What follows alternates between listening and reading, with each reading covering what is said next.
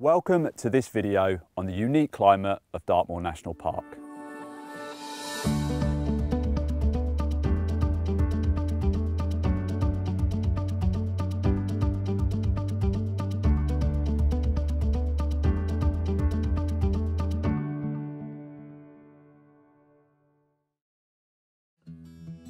Dartmoor is a national park that lies on the southwest peninsula of the United Kingdom.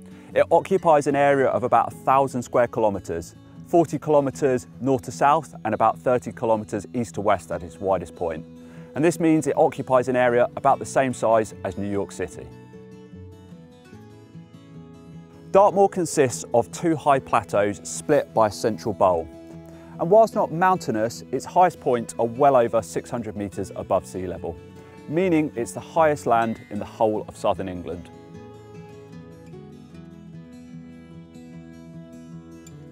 Dartmoor is a truly unique geological feature and it's partly responsible for some very unique weather, not only on the moor itself, but also in the surrounding area.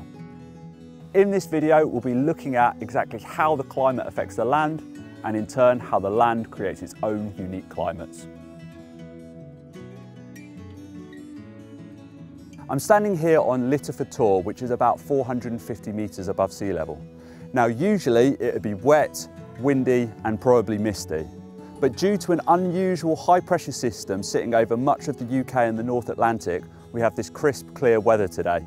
Now usually the high altitude and exposed nature of Dartmoor determines the more extreme climate conditions. Firstly, there's a direct correlation between the pattern of rainfall and the pattern of relief. That is the height above sea level. The southwest peninsula of the UK, which is home to Dartmoor, predominantly experiences a maritime climate, with moist air masses moving in off the Atlantic Ocean from the southwest. As this southwesterly airflow is forced up over the hills, it cools and creates cloudy conditions, which in turn give rise to higher levels of precipitation. This is a classic example of relief rainfall. It's not surprising that many of Devon's rivers rise here on Dartmoor, and that Dartmoor is also regarded as one of the most important areas for water in the southwest UK. Now the town of Princetown, which lies only a few kilometres from where I'm standing and is in the middle of the moor, is one of the wettest areas in the whole of England. It receives around 2,000 millimetres, that's a whole two metres of rainfall each year.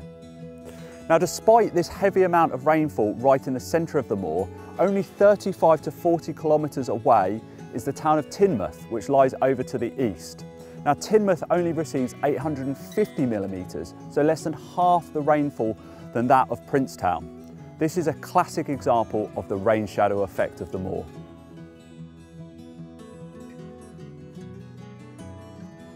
I'm standing in one of Dartmoor's many thousands of bogs, and despite the level of rainfall, because of its height above sea level, the growth of flora and fauna on the moor is somewhat limited and this is why Dartmoor is often referred to as a wet desert. The few trees that do grow on the open moor have been twisted and shaped due to the lack of coverage and the sheer force of the wind. This in turn means only the hardiest breeds of livestock can tolerate the harsh conditions.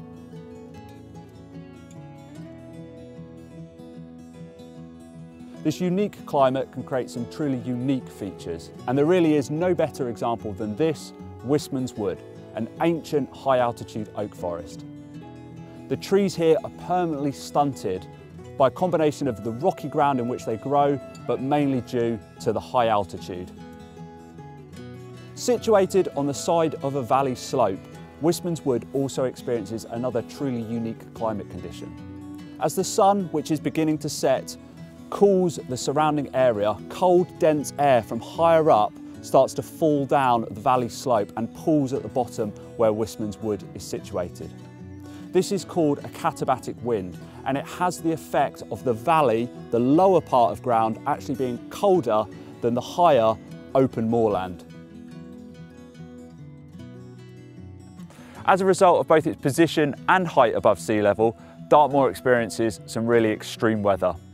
But due to the lay of the land, it's also capable of creating some truly unique climates itself.